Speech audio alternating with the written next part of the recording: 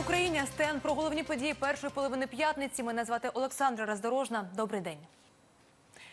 Ситуацію на Донбасі і перспективи розгортання повноцінної миротворчої місії ООН в Україні Петро Порошенко обговорив із генеральним секретарем ООН Антоніо Гутерішем. Співрозмовники констатували, що розгортання місії повинно відбуватися з чітким дотриманням базових миротворчих принципів ООН. Також президент України закликав Організацію Об'єднаних Націй долучитися до процесу звільнення заручників. Нагадаю, напередодні під час зустрічі Дональд Трамп запевнив Петра Порошенка, що США підтримує пропозицію України щодо розміщення миротворчої місії ООН на всій окупованій території Донбасу і на неконтрольованій ділянці українсько-російського кордону. Сьогодні Петро Порошенко розпочинає дводенний візит до Канади. Заплановані зустрічі президента України з прем'єр-міністром Канади Джастіном Трюдо, міністром закордонних справ та представниками канадських парламентських і ділових кіл. Крім того, глава держави візьме участь в урочистій церемонії відкриття ігор нескорених, де вперше виступатиме національна збірна України. Планується також зустріч глави держави із представниками українських організацій Канади. Минулого вечора ситуація на сході України знову загострилася. За даними штабу АТО, бойовики здійснили 16 обстрілів. Обійшлося без втрат. Найбільше збройних провокацій зафіксували на Приморському і Донецькому напрямках. Поблизу Авдіївської промзони окупанти чотири рази обстрілювали наші укріплення із гранатометів, кулеметів та стрілецької зброї. Крім того, противник застосував БМП поблизу Новоселівки 2 та Майорська. На приморському напрямку з великокаліберних кулеметів окупанти двічі били поблизу водяного, а з протитанкових гранатометів працювали по околицях Гнутового. Також наприкінці доби під ворожим вогнем опинилися наші укріплення біля Павлополя. На Луганському напрямку російські найманці випустили 6 мін калібру 82 мм та застосовували автоматичний гранатомет і кулемет на підступах до Кримського. Генпрокурор Юрій Луценко доручив перевірити використання коштів на зведення укріплень у зоні АТО. Відповідне доручення новому військовому прокурору сил АТО Луценко дав після відвідин 128-ї гірсько-піхотної бригади. Повідомляється на сайті ГПУ. Генпрокурор зазначив, фортифікаційні споруди другої лінії оборони, на будівництво яких витратили мільярди гривень, насправді є лише імітацією опорного пункту. Окопи без кріплення, перекриття бліндажів із гілок, броньовані двері та вікна вкрадені. Юрій Луценко наголосив, що в разі доведення розкрадання грошей необхідно пред'явити обвинувачення тим керівникам ОДА, хто солодко спить у тилу. Нового керівника військової прокуратури сил АТО Олега Ціцака генпрокурор представив у Краматорську напередодні. Луценко охарактеризував новопризначеного прокурора як дієвого і активного керівника та висловив переконання у його здатності правильно організувати роботу. Ціцак зазначив, що одним із основних напрямів його роботи буде припинення розкрадання бюджетних коштів на війні. Прикордонники виявили на Донеччині арсенал зброї російського виробництва. Вибухівку, боєприпаси та вогнепальну зброю винюхав службовий собака у покинутій будівлі у Новотроїцькому.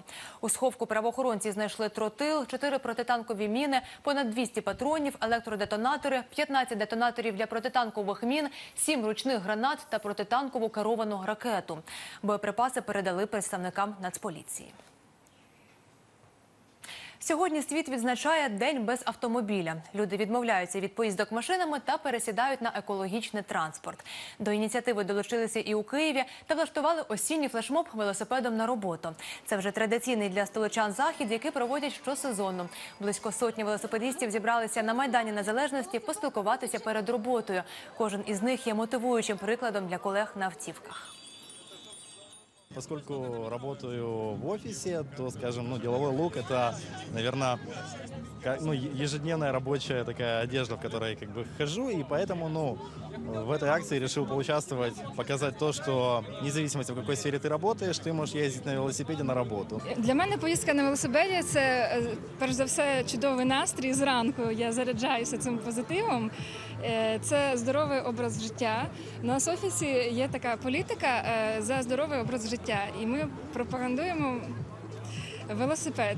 Використання велосипеда як транспорту воно приносить користь на всіх рівнях на індивідуальному. Для міста, для планети Земля Київ уже пересідає на велосипеди. Наші підрахунки велосипедистів, які ми проводимо двічі на рік, показують, що в Києві щороку зростає кількість велосипедистів на 10%. Якщо все ж таки ви вирушили у місто на автівці, майте на увазі. Через ремонт дорожнього покриття сьогодні обмежать рух на кількох вулицях. До шостої вечора частково перекриють вулицю Оболонську на ділянці від вулиці Межигірської до Кирилівської. Також обмежать рух на шляхопроводі на перетині вулиць Шоломалехама з Братиславською. Нагадую водіям, що ремонтні роботи досі тривають на площі Льва Толстого, кільцевій дорозі, вулицях Олени Таліги, Володимирській та Набережному шосе.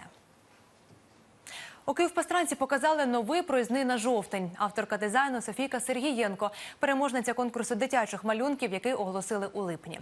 У ньому брали участь юні художники віком від 5 до 9 років. У Київпастранці сподіваються, що нові оригінальні проїзні будуть до вподоби і пасажирам. Долучитися до доброї справи закликають усіх небайдужих київські сподеї. У містечко КПІ молодь організувала штаб благодійності. Аби допомогти нужденним, достатньо просто віднести речі, які вам не потрібні. Про добру і таку потрібну ініціативу далі у сюжеті. У цю невеличку кімнату молодь пакунками та кілограмами приносить свій одяг. Штаб благодійності небайдужі облаштували на базі столичного політеху.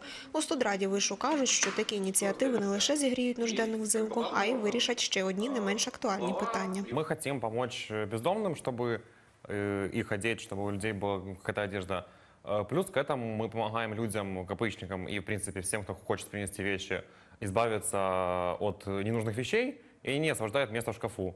И к тому же мы помогаем решить э, экологические проблемы, чтобы люди не выбрасывали свои вещи э, на улице, Після ревізії у своїй шафі регулярно приносить одяг до штабу Настя. Дівчина регулярно віддає до 2-3 кілограмів непотрібних для неї речей, які нужденним стають неабияк в нагоді із настанням холодів. Я перебрала вчора свій гардероб і е, знайшла четверо штанів е, і кофту. Також це в принципі у мене не так багато речей, тому що я для себе просто поставила таке правило не накуповувати багато. Молодіжний проект існує два місяці. Ідея створити меку доброти у стінах університету з'явилася у Даші. Вона піарниця за професією, але це не заважає їй активно розробляти і втілювати благодійні проекти, де кожен легко може поліпшити чиєсь життя. У Фейсбуці побачила декілька постів про те, що запитували люди, куди можна відвести речі. І багато таких постів було. Я всім відписувала, що там везіть туди, туди, туди. Потім зрозуміла, що це треба координувати, і набагато простіше написати мені один пост і сказати, що везіть свої всі речі на КПІ, і ми їх відвеземо.